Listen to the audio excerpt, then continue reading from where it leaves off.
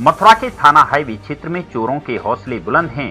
चोर आए दिन किसी न किसी वारदात को अंजाम देकर पुलिस को खुली चुनौती दे रहे हैं। इस बार सातिर चोरों ने थाना हाईवे क्षेत्र की पौष कॉलोनी मोती कुंज में एक मकान के ताले चटका दिए। यहाँ से चोर दिन दहाड़े लाखों रुपए की ज्वेलरी और नकदी पर हाथ साफ़ कर गए।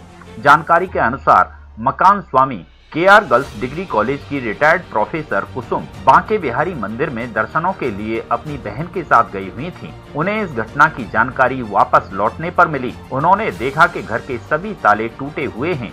अंदर जाकर देखा तो उनके होश उड़ गए। घर में रखी पचास हज़ार रूपए की नकदी और लाखों रुपए की ज्वेलरी घर से गायब थी। उन्होंने इसकी सूचना 112 डायल पुलिस को दी। वहीं मौके पर पहुँची पुलिस ने मौका मुआयना कर मामला दर्ज कर जाँच शुरू कर दी है। घटना के संदर्भ में प्रोफेसर महिला की बहन ने जानकारी देते हुए बताया कि चोरों ने घर में कुछ भी नहीं छोड़ा है। घर में रखी लाखों रुपए की ज्वेलरी और नकदी चोरों ने चुरा ली है। अब घर में उनके पास बिल्कुल भी कुछ भी नहीं बचा है। ये डॉक्टर कुसुम सिंह का घर है, जो कि मोती कुंज में रहती है। मैं उनकी छोटी बहन हूँ। मैं बदायूं से आई थी। मैंने नई गाड़ी ली थी। मैंने दीदी को फ़ोन किया था। मैंने कहा, दीदी, मैं आपके पास गाड़ी से आ रही हूँ। हम बिहारी जी दर्शन कर जाएँगे। मैं सवा दस और साढ़े दस के बीच में दीदी के आई। मैं घर के अंदर नहीं घुसी थी। दीदी ताला लगा के मेरे साथ बिहारी जी गई। जब हम वहाँ से तीन बजे लौट के आए तो हमने देखा कि बाहर का ताला लगा हुआ है जब हमने बाहर का ताला खोल के बंदा है।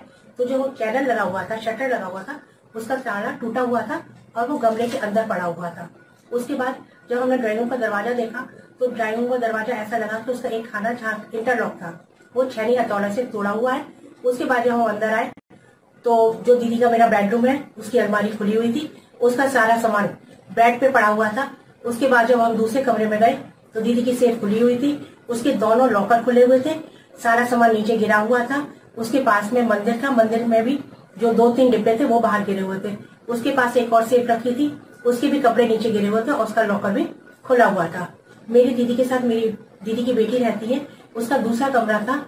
उसकी भी एक बेटी है। उसकी ड्रेसिंग टेबल में उस बिटिया का सामान था जो कि बेड पे और नीचे ड्रेसिंग टेबल का सारा सामान खुला नीचे पड़ा है। और वहाँ पे भी एक सेफ़ रखी थी। उसका भी लॉकर खुला हुआ था और उसके कपड़े नीचे गिरे हुए थे। कुछ सीसी कैमरे में भी आया गया है, जो कि दीदी के घर में लगा हुआ था। इसमें जो लड़के आए हैं, वो सामान लेके जो गए हैं, उसमें दीदी की सारी ज्वेलरी है।